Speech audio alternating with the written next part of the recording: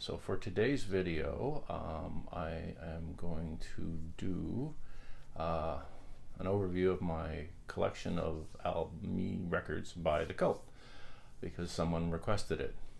So I actually, yes, I do requests. Um, so I'll just get started. So now my first record technically isn't The Cult, but it is Death Cult. Now, Death Cult was Ian Astbury and Billy Duffy, and Jamie Stewart, I think, was also in the band who was in the cult as well. So this is basically three fourths of the cult um, before they recorded their first record. Um, they uh, also, I believe, I don't think he were he played on this record, but Nigel Preston, who was the drummer for Dreamtime and also for She Sells Sanctuary, also played in Death Cult. But again, I'm not sure if he played on this record or not, because this was the only Death Cult record I think there was. Uh, Ian Astbury was in Southern Death Cult, um, and uh, Billy Duffy was in Theater of Hate, and then they formed Death Cult afterwards. Um, Southern Death Cult actually opened up for Theater of Hate, so maybe that's how they met. It may have been the evolution of this whole thing. So this is, um, yeah, so this is the Death Cult EP, um, and if you see on the back, you can see those titles: Brothers Grimm, uh, was that Horse Nation, Ghost Dance, Horse Nation, and Christians. All songs which I believe appeared on various, uh, some I think appeared on various cult albums, um, the, whether whether it being Dreamtime or I believe the live album they did, the Cult Live at the Lyceum, I believe. Um, all of these songs, I believe, were uh, recorded at some point or another, either live or in studio by the cult. So, so I felt this was important to include in this uh, little uh, collection. This is kind of a uh, kind of cool. This is this is a different label like that. I don't know if you can see that well, but um, this is uh, yeah. Um, situation two. So I guess this is still, oh, that's cool. Even better. um, yeah, this is, I guess, the same label. Still Beggar's Banquet, I guess. I think so. Um, I think it's the same label that they, they were with afterwards, but I'm not absolutely sure on that one. I can't get the record to go away. Anyway, so that was that's my earliest cult related thing. Uh, so moving on from that, we go to the first actual cult record, and that right here, Dreamtime. Now, Dreamtime, you can see the back, the members. This, this that still has plastic wrap on it, never got removed, so that's kind of neat. So you see all the song titles and the members on the back. We got Ian Astbury, Billy Duffy, Nigel Preston and Jamie Stewart. Now I must say, this is the the vinyl there. It's just black vinyl, but it's just a just just the uh, Beggars Banquet uh, label there. But yeah, I must say, um, of all the cult albums, this is my favorite drumming. Nigel Preston's drumming is, is he, he was my favorite of all the drummers, to be honest. Uh, I thought it was phenomenal. Some of the songs on here, the the uh, the drumming is just mind mind boggling to me. It's just amazing, amazing stuff. Um, yeah, unfortunately, he was only with them until uh, he rec- I believe he recorded "She Sells Sanctuary" with them, and that was the last. And the rest of uh, the rest of Love was done with other um, other drummer, Les Warner, I think it was. And later on, they had another guy joined them. I can't remember all the names. There's been a lot of guys in the cult, so I can't remember everything. Um, a few highlights for me on this album: um, "Go West," "Spirit Walker." "Spirit Walker" was their first single, I believe, on here.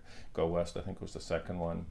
"Bad Medicine Waltz," another great track. "Horse Nation," "Dreamtime," and then the one of my favorite songs. This is, I mean, this is just an amazing, solid debut. I mean, a great, great album. Next up on the list. Um, so next I'm gonna go. I don't actually have a copy of Love. um, that's on my list of things to get. What I do have is a uh, the single for Revolution, which was the third single, I believe, off of Love. Um, and inside we got the nice art with a little bit of uh, writing, um, and that is uh, basically credits. Um, this is a UK um, pressing. You can see that there, like that, and like that. This is cool. This is kind of one of my prized possessions, to be honest. Any of the early stuff that I managed to get UK pressings of when they actually came out, especially 45s and stuff like this, it's very, very uh, valuable to me. I don't even know what, what this stuff goes for, but uh, oh, I still got a price tag on it. 498 when I got this. So it's a, yeah, it is a double, two disc, um, single, double single. There we go. The one great thing too about the cult, especially in the era of Dreamtime Love and Electric, was that their B-sides were as good as everything else.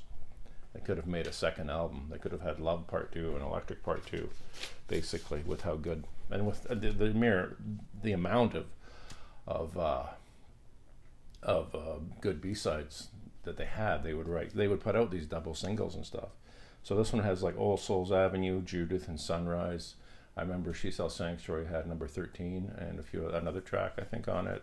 Um, Rain I think had some other ones. I mean it would have been enough to release a second record. Could have been a double album. That's and the songs are all awesome, amazing songs. So that's the Revolution EP. Next up, I will go to.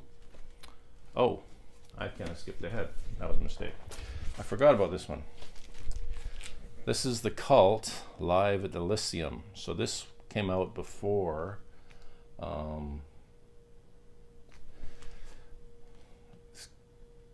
actually, I think this came out around the same time as uh, um, Love, but this was recorded. The concert itself was earlier, it was 84. Right.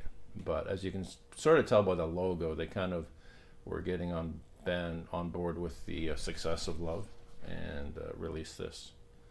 Um, you know, I guess to hype it up and probably try to sell more copies of Dreamtime as well.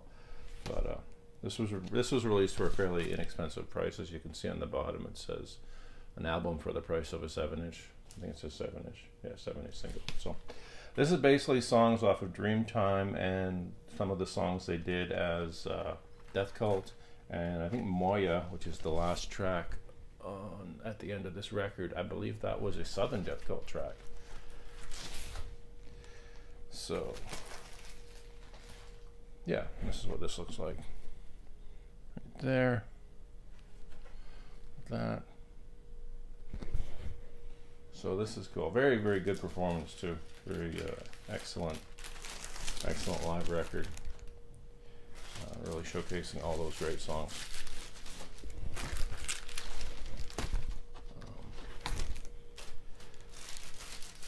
four. Okay. Not going to mess with that right now. So, now we're up to date. I did Revolution. Okay. Next up, um, I'll start with the rest. Oh, come on. The rest of these. Yeah, this is all, the rest of it's all uh, electric related. So I'll start with the first single that came off electric, which was Love Removal Machine. And this again is a double 45. There's the back. Um, this is the inside of it, right there. And also, this is also a uh, UK pressing. There's that. Take a good look at that one, like that. Pretty nice label. That is, that's the B-side, Wolf Child's Blues, um, which is an awesome song. And uh, that's a Love Removal Machine. Um, so again, this is something I'm very happy to have, um, another UK pressing. Then you've got, uh, the rest is, uh, this side has Conquistador, and then you have Groove Company right there. These are all phenomenal songs, by the way. Okay.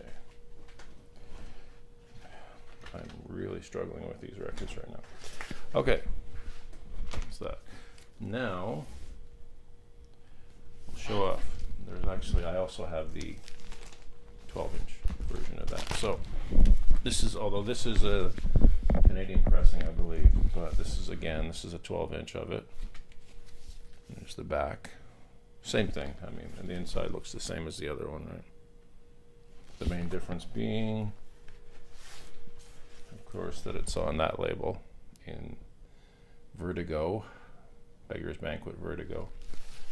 Um, and the main difference from um, the single version is that there's an extended version here. So all the same stuff as the other one, except for one more track, which was the extended version of Love Removal Machine. So that is cool. So moving on from there, we have the actual album Electric right here. Pretty cool. This was a departure from the love stuff they were doing because that had more of a psychedelic uh, 60s sound. Still hard rock, but you know. Whereas this was more 70s hard rock, ACDC or something. That type of stuff, riff heavy stuff. Um, is the inside here. You got your gate, lots of pictures in there, probably more than you can even uh, see clearly. Um, uh, and we've got the inner sleeve like that. Now this again, I believe, is uh, Canadian pressing or U.S. pressing. Right there. I can back that up a bit, like that. And then put that down for a sec. And you can see this is the label, so it's the same as the uh, 12 inches. Um, not UK, but still pretty nice. Certainly sounds good. And my final record so far that I have of this band. Not my final, sorry. Second to last. We're getting there, but not quite. This is Little Devil, the 12 inch. This is a double 12 inch.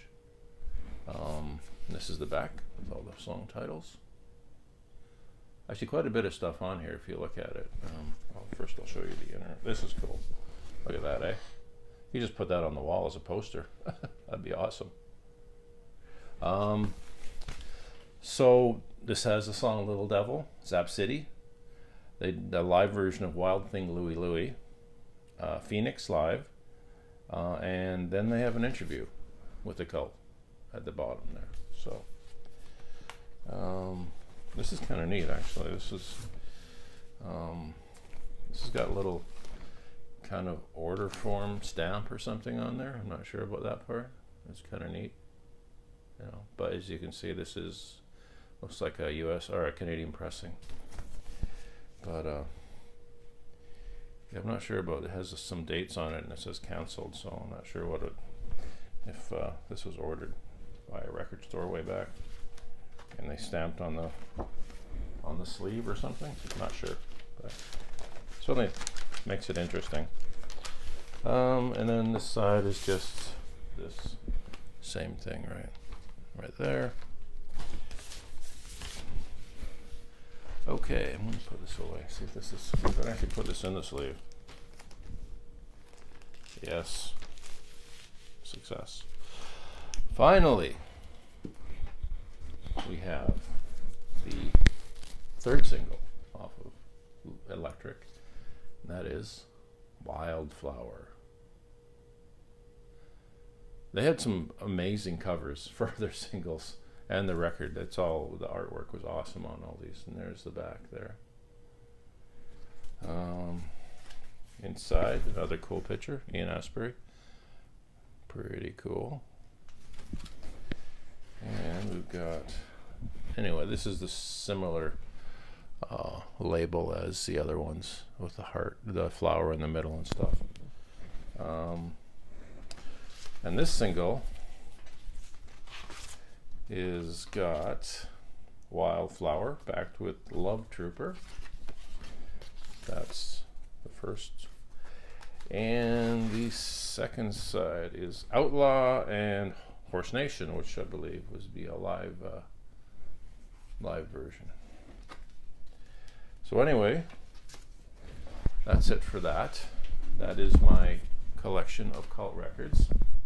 I hope you enjoyed it. Um, uh, if you like this kind of thing, please like and subscribe. I usually do a couple of videos a week. Uh, I hope uh, everyone's having a good week, um, and I will see everyone again next time.